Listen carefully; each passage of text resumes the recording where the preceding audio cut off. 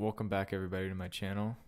Uh, today we will be creating a simple REST API using the Go programming language. So what I've done here is I created a uh, just an empty folder on my desktop. Um, what we will want to do here is open it up. Currently it's empty. Um, what we should do first is create some directories. So let's make a CMD directory and a package directory. So now we have these two. Um, and let's open up our our project. I want to move out of it and I want to open it up with Visual Studio Code. So here we go. By the way, if you guys don't have that set up in, in VS Code, all you have to do is uh, press F1 and then look up shell command and then install code command in path. So you can just hit code and then the name of the directory or file inside your terminal to automatically open up VS Code every time. Uh, so yeah, this is what we have so far. It's still empty.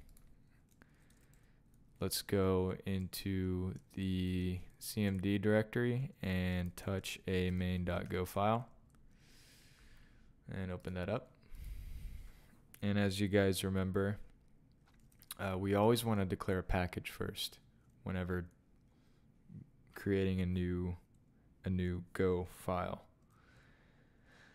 Also, every project needs a main function. So this is where we'll declare it. I also have this Go extension installed and enabled on VS Code, which is uh, fantastic. It's great for just kind of auto importing some of the stuff and checking syntax and whatnot. Um, but yeah, let's uh, let's just do a simple print statement. For now, again, starting server. Let's say that, sure, because we're going to eventually do a server. And let's just make sure everything's running all right. Right now we're in CMD. I want to do go run CMD main.go. Starting server, cool. All right.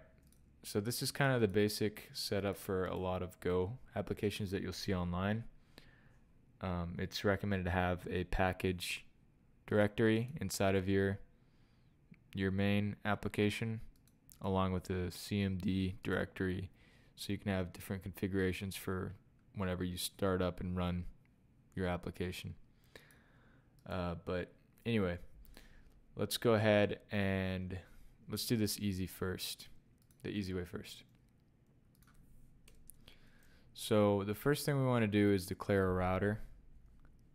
Um, and what we're going to use is this package here called Kai or Chi, Go Chi, Go Kai. I don't know how to pronounce that. But if you search uh, Kai Mux on Google, Kai Mux Golang should be the first one. And it'll take you directly to the repository where it's pretty well documented, it has a bunch of examples on how to set it up. This is how you install it to your Go path. And what your Go path is, is basically a, a place that holds all of your um, outside third party um, packages that you can use. So yeah, you run this in your terminal anywhere. And if you want to look into this documentation, it's pretty it's pretty helpful and you can do a lot of interesting stuff with it. So this is the main idea. You declare a router, some sort of router that's a that's a a, a, a chi dot new router instance and then you can manipulate that variable based off of um, a few different things within this package. So let's go ahead and do that. We will declare a router and it's going to be of type chi or chi dot new router. And up oh, says we have an issue already. Router declared but not used up. See, that's a so for those of you who don't know, if you declare something in Go and you try to compile or anything, it won't actually compile when you try to run it because uh, it just won't let you. So if you declare something, you don't use it, you need to remove it or comment it out uh, because it won't let you compile. So here, let's do um, let's do a simple get path. Let's do router dot get and here we will declare a path. Let's call it API slash get example. And if we look into this, this get here, it takes in a string and an HTTP handler function. For those of you who are familiar with um, RESTful services and, and APIs and whatnot, a handler is basically kind of like a constructor. So let me let me show you what I mean.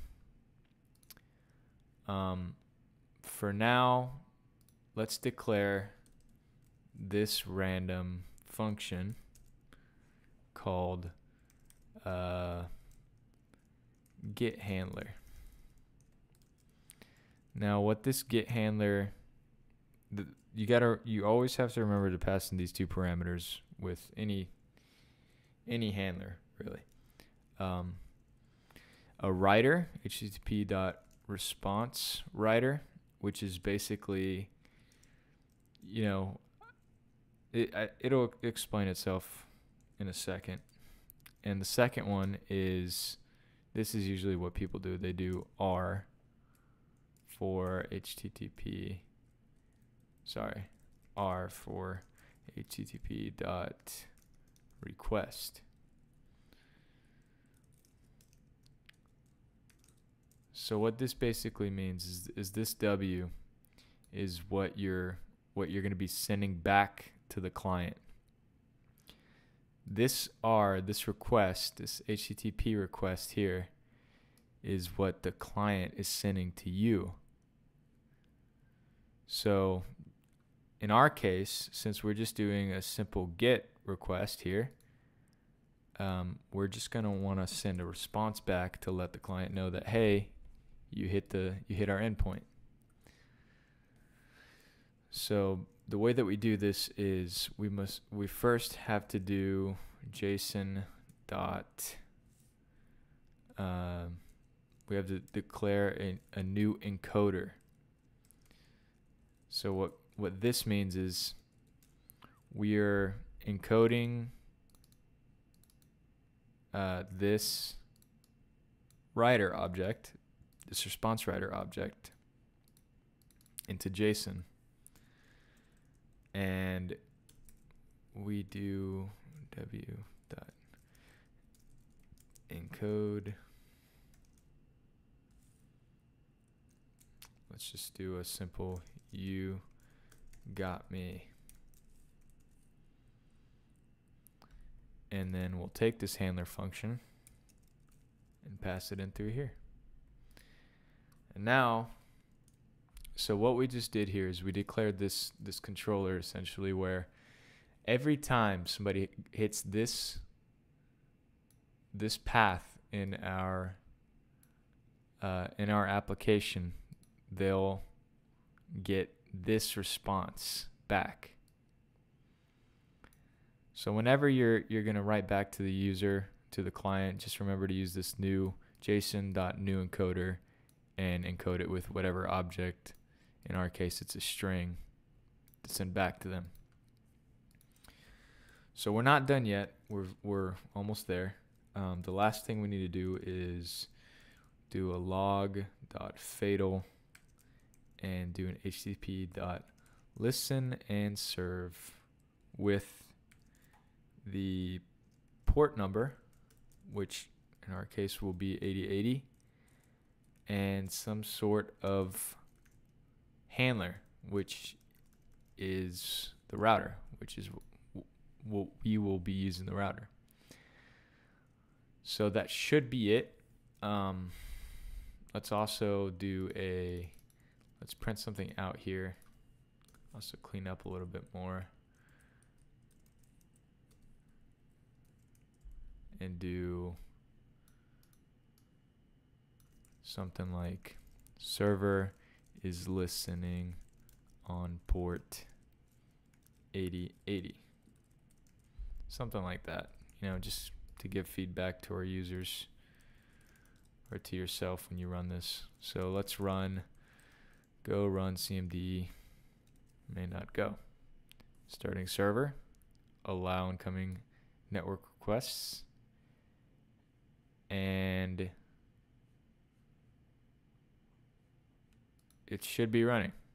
Uh, I should have actually put this before that, but um, yeah. So let's let's just go ahead and, and test out the endpoint. Let's go to a new window and go to localhost 8080 slash API slash get example, I think is what we called it. And there it is. You got me. So our our API was able to run and give us back data. And it's easy as that. And this is kind of the the setup that most people use.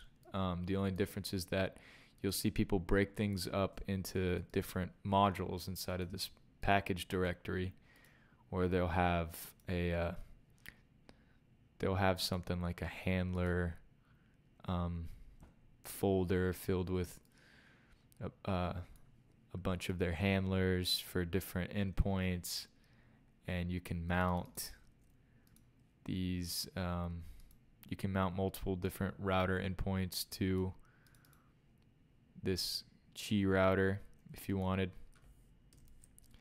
Let's go ahead and, and do a uh, a post request too, just for the heck of it. It's basically the same thing. It's super simple. Um, we'll just call it that for now.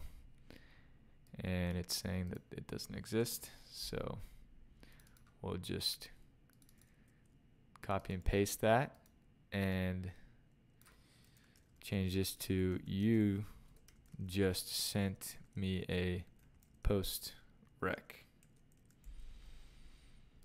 And I'll go ahead and move this up too for now.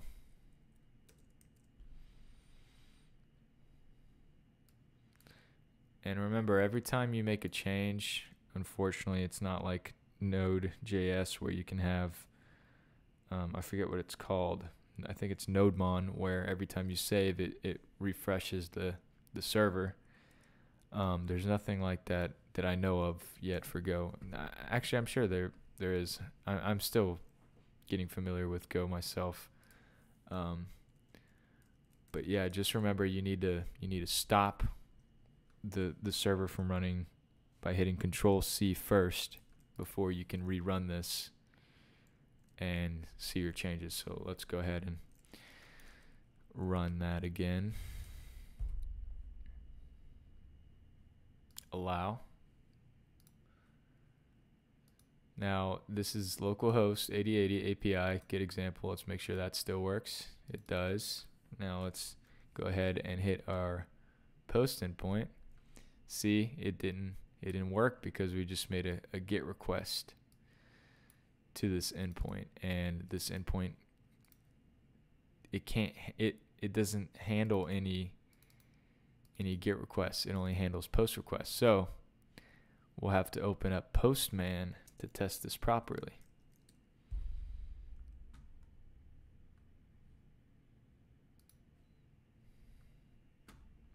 wait a second while this opens up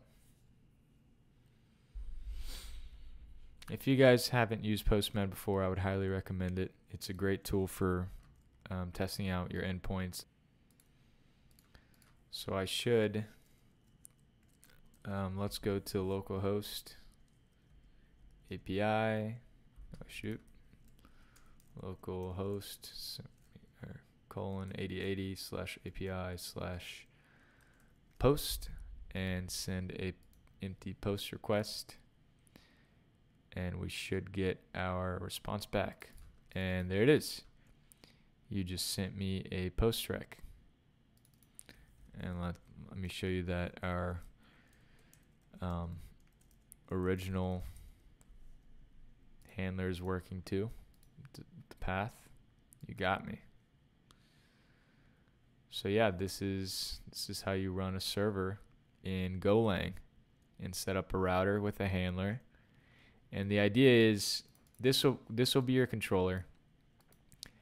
And eventually you'll want to add some sort of business logic, like a service of some sort where service will add or an instance of a service and inside that service it'll do things like you know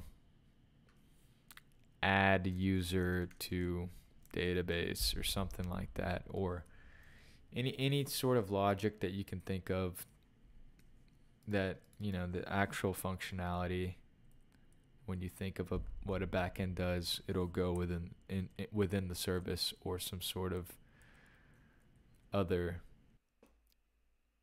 module this we just want to keep clean and have just our response and our request. So whenever we can, that's all we want to have in here.